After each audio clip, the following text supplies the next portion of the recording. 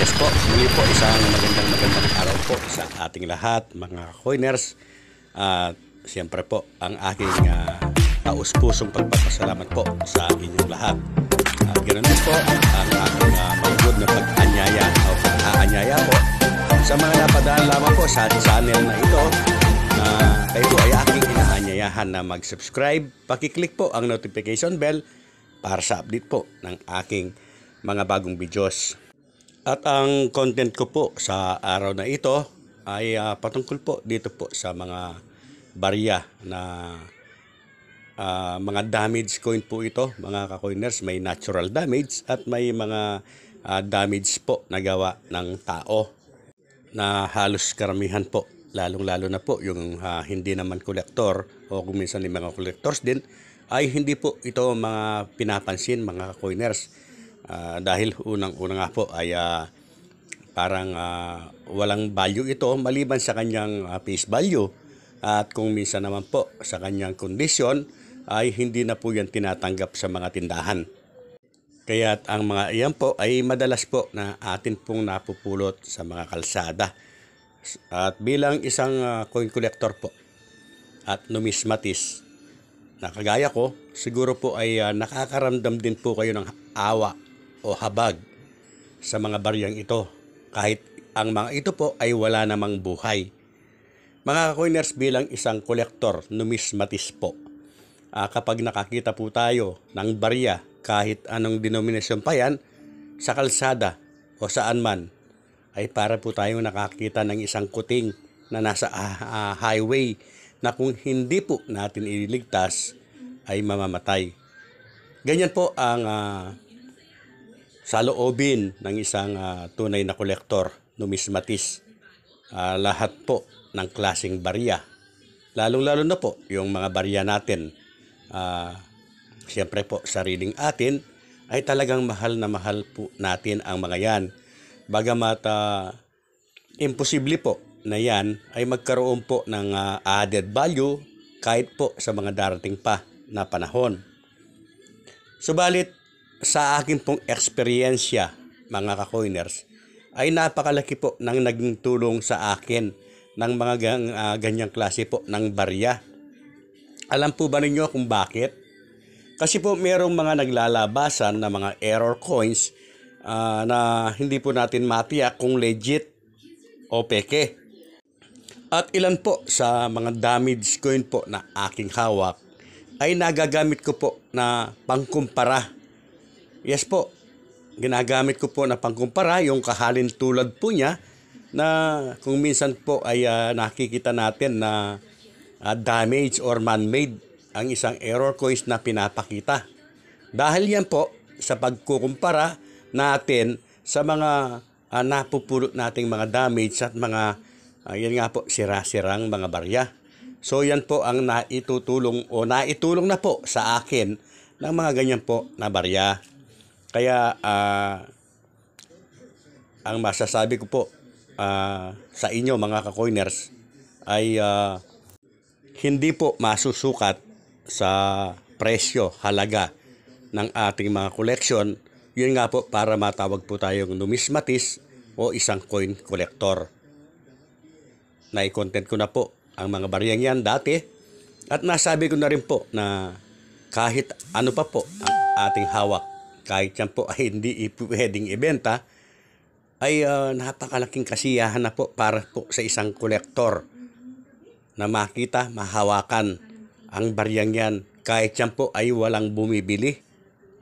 At bilang isang uh, coin vlogger po, coin collector, uh, lagi po ang aking uh, nababanggit na sasambit sa inyo na ang tunay na kolektor po, ang, ang legit na kolektor po, ay napakabihira pong magbenta niyan. Nagbebenta lamang po yan kapag emergency.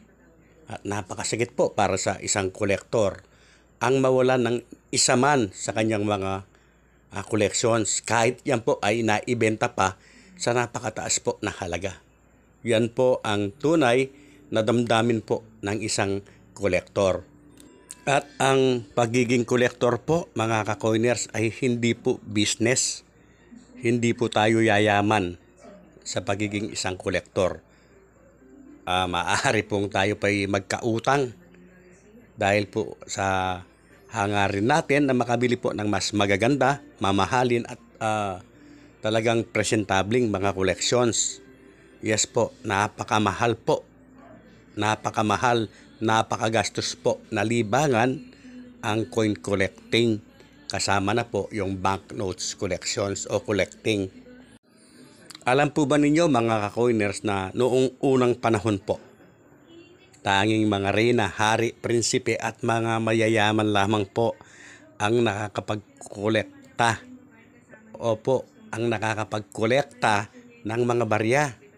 Dahil yung ating mga ninuno po noon, kahit isang kusing ay, tanala, ay talagang ah, ginagastos po nila dahil sa kahirapan. Napakaswerte nga na, na nga po natin ngayon sa panahon po natin. O, Ultimo po bata ay pwede na pong mangolekta. At ah, hindi po mahirap na makakolekta or magkaroon po ng mga collections. Unang-una, ayan po napapanood po natin yung ah, mga legit po na ah, coin vlogger na sinasabi po yung mga ah, magagandang variations at mga low mintage po na ah, pera natin in circulations. Ganon din po yung mga in circulations na ah, brilliant conditions ay maaari po nating hihantyan para panimulang collections. At napakarami pa rin po ng mga ah, barya o mga old coins po nandyan dyan lamang po sa tabi-tabi na ang iba po ay pwede pang mahingi sa mga kapitbahay. 1972, 1974, 1 peso. Yung mga English series po natin na barya. ah, Flora and Fauna series, ang bagong lipunan series. Nandyan pa po yan, napakarami po yan. At kung meron man pong magbebenta sa mga yan, ay tiyak po na napakamuran lamang po ng halaga na kayang-kaya po natin. Lalong-lalo na po yung mga ah, nag-uumpisa pa lamang po na ah, sa pangongolekta. Pero pwede naman po tayong kumita sa pagbabarya kung papasukin po natin ang buy and sell mga ka-coiners. Dahil magkadikit po yan. Kasi kung walang magbebenta, walang bibili, paano po makakabili, makakakita yung mga naghahanap na mga collectors. So magkaugnay po yan. Pwede pong pagkakitaan ang ah, pagbabarya, yan nga po kung magbabay and sell business po tayo.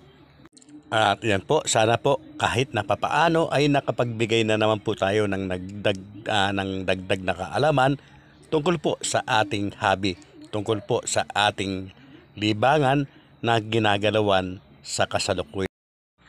Ah, muli po, ako po ay ah, lubos po na nagpapasalamat sa mga taong nakakaunawa po o nakakaintindi ah, sa aking ginagawa na minsan po ay ah, pagbatikos po ah, sa mga ah, coin vlogger po na nagbibigay po ng ah, misleading information ah, sa mga pamilya po nila, mga kaibigan na nasasaktan din ah, sa pag ah, batikos po ni Coiners Ring. Ako po ay ah, humihingi po ng ah, paumanhin po sa inyo. Ayaw man po natin gawin ito ay kinakailangan po dahil napakarami na po ah, ng mga ah, namamali po napakarami na po ng mga nababas na nakakapanood po kasi sa kanila. Marami na po yung mga nalilito na po. Dahil nga po ah, sa mga maling impormasyon po na ah, ginagawa ng mga ah, taong yan. Kaya kung kayo po ay may kamag-anak, kaibigan sa mga yan, ay kung maaari po ay sabihan na lamang po natin sila na tigilan na po yung ganyang mga content dahil pwede naman po tayong gumawa ng content na maaring makatulong po sa industriya. At ah, isakripisyo na po natin mga ka-coiners yung mga napakaraming viewers na ah, nanonood sa atin dahil sa siyempre ah, akala nga nila ay mabibili o bibilhin natin yung kanilang mga barya. Eh, kung binibilit sana po talaga natin eh kahit paano ay makakatulong tayo Mga ka-coiners, alam naman po ninyo kung sino kayo. At ah, yan nga po, ah, marami pa pong panahon para po tayo ay magbago at magtulungan.